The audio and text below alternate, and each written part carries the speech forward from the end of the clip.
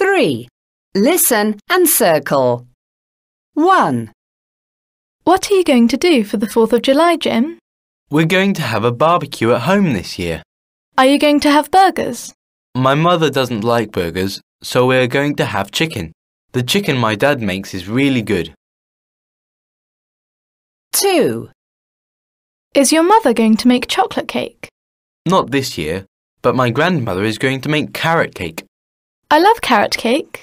Me too. And my grandmother makes the best carrot cake ever. 3, What about you, Faye? What are you going to do for the 4th? We're going to my uncle's. Are you going to have a barbecue too? No, but my aunt is going to cook. She's a great cook. 4, Well, I'm sure you're going to have fun. Yes, there are fireworks in the park near their house in the evening. We're going to watch them. That's great. Why don't you come to the park in the evening too? The park isn't far from your house. My aunt and uncle are going to come in the evening, so we can't.